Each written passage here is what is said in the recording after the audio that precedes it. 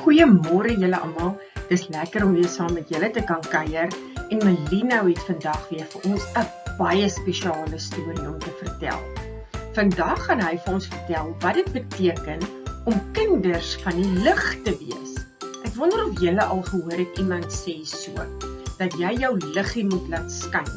Nou vandag gaan Melina ons help om mooi te kan verstaan wat dit beteken. Ons lees in 1 Johannes 1 vers 5 in ons Bybel. God is lig en daar is geen duisternis in hom nie. Dit beteken God is lig en daar's niks donker rondom hom nie. Julle en dit is hoekom die mense sê as jy 'n kind van God is, moet jy jou lig laat skyn. Want as God in jou bly, dan skyn sy lig deur jou. Wanneer dit donker raak in ons huis, is daar verskillende goeders wat ons kan doen om lig te kry. En een daarvan is om die elektriese ligte aan te skakel. Ons het mos 'n skakelaartjie wat ons kan druk en dan kom die liggie aan, soos met hierdie bedlampie. Dalk het jy ook een in jou kamer en as jy in die kamer ingaan en dit is donker, dan sit jy die liggie aan en dis nie meer so donker nie. 'n Ander manier om lig te kry in die huis is om 'n kersie aan te steek. Nou dat ons beerkrag het en ons elektriese ligte nie altyd werk nie, kan ons 'n kersie aansteek om van die donker ontslae te raak. 'n Ander baie lekker manier is om 'n vuur te maak. Het jy al lekker in die vuur se vlamme gekyk? O, dit maak 'n mens sommer lekker rustig, nê? En die vuur se vlamme gee ook vir ons lig. Nog 'n manier is om 'n flitslig naby te hê. Ek hoop jy weet waar is die flitslig in jou huis, sodat as die ligte nie werk nie, dan kan jy die flits aansit in die donker. God het ook verskillende ligte in die natuur gemaak.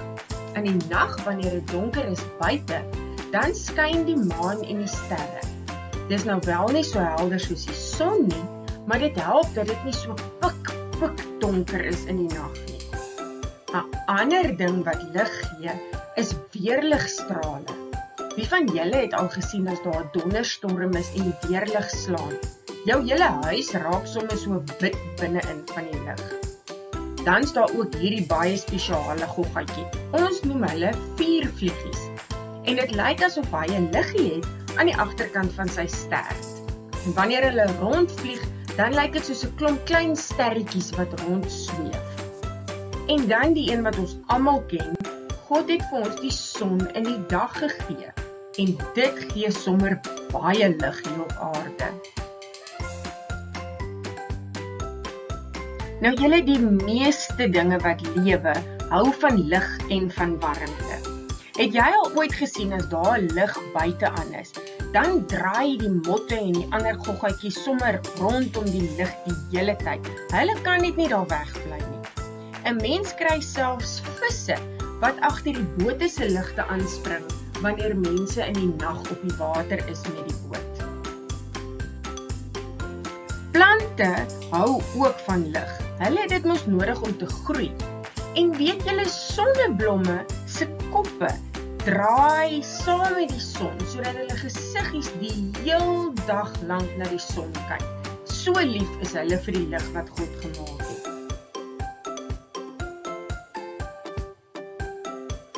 Ons mense hou ook baie van lig.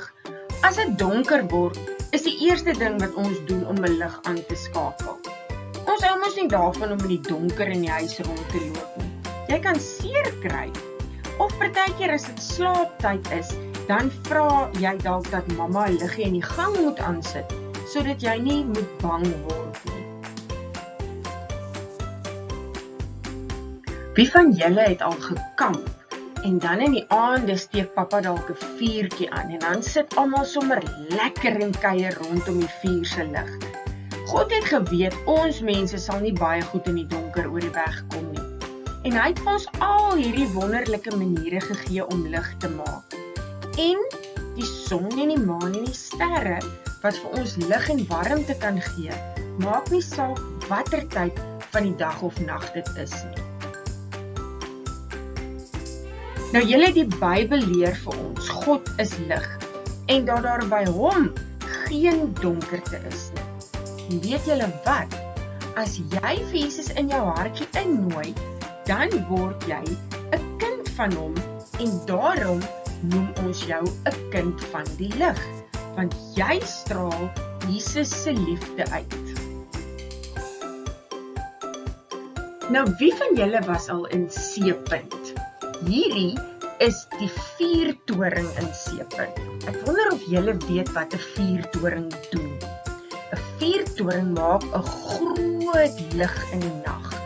En dan as die see rof is en daar's 'n storm, dan kan die skepe die lig van die vuurtoring sien en hulle weet dis waar die strand is, die land is. En dan weet hulle hulle moenie daartoe seil nie want dan gaan die boot sink. Ons moet wees soos 'n baken, soos hierdie vuurtoring. Mense wat nie vir Jesus ken nie, moet sommer van ver af kan sien.